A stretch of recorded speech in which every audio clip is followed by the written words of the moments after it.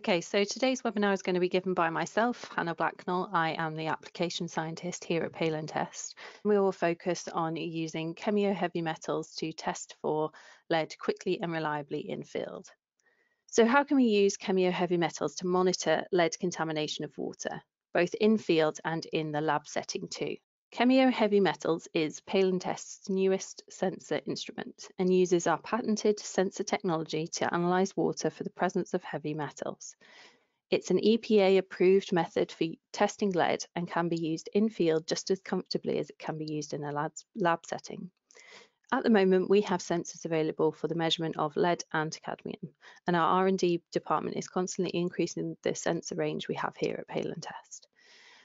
The range that we are able to test for, for both cadmium and lead, allows for the users to test below and around the consent limit with accuracy and precision they can trust, and also allows them to test higher samples too for applications where the allowable limit is higher, like in mining or industrial or environmental testing.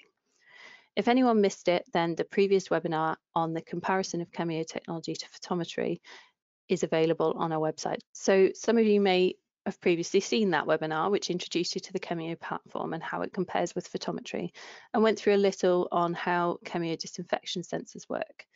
Kemio heavy metal sensor technology is a little different in the way it works, but the general idea that all the calibration has been done for you and the method is easy to use with limited or no training still applies.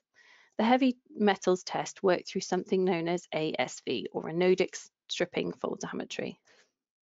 During the first stage of testing, a voltage is applied to the electrode, which causes the metal ions to stick to the sensor electrode as demonstrated here, like that. And then as the voltage is gradually changed, these ions will come back off the sensor, causing a current change. The lead ions will come off at a specific voltage, so the point at which the ions jump off the sensors, let us know what kind of ions they are. And this is used to calculate the concentration of lead in water.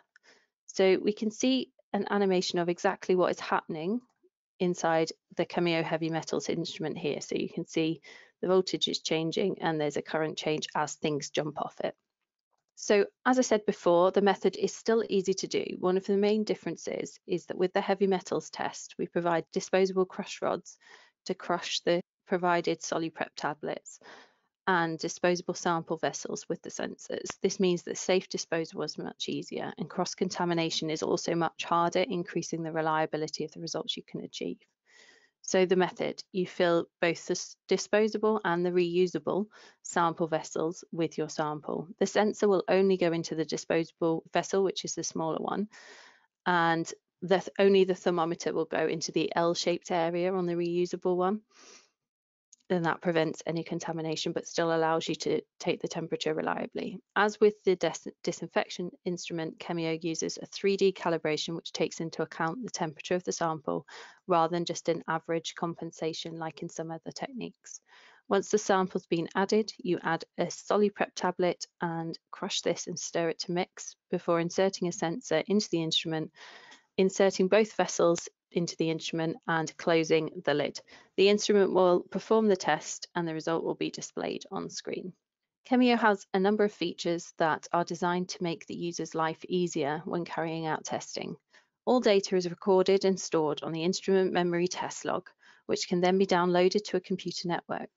This is ideal for auditing and to reduce the amount of paperwork required for in-field measurements.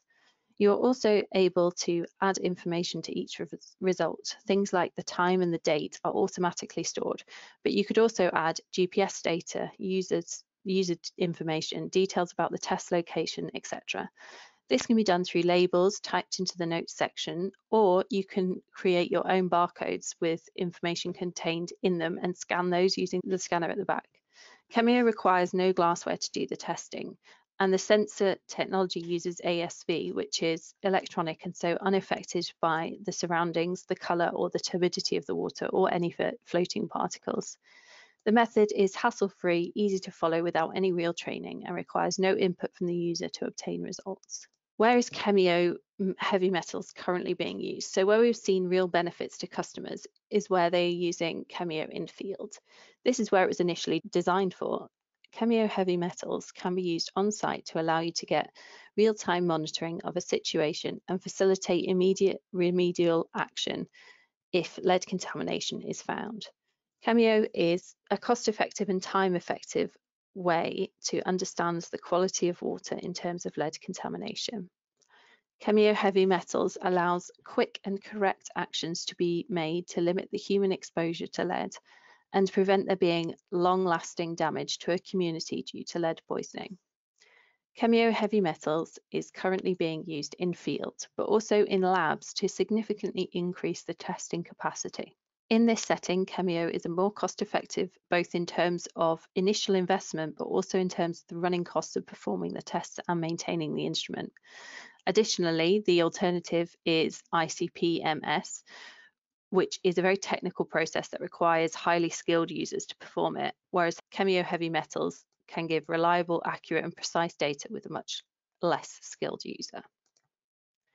So the modern lab method, as I've just mentioned, is ICP-MS or inductively coupled plasma mass spectrometry, which I used during my PhD. And it's complex to, to both do the test, but also often to interpret the results as well. It caused me many a headache. What we can see here is that a comparison of the Kemio ASV method with the ICP-MS method.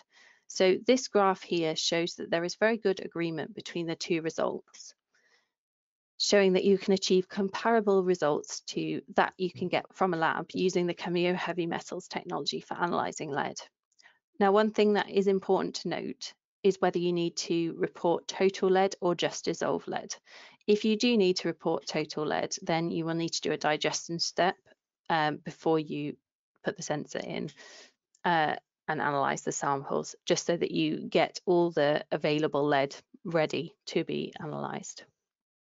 So in summary, Kemio Heavy Metals is an EPA approved technique that can be used both as an in-field technique to give you real-time monitoring or in a lab setting to cost effectively increase capacity for lead testing.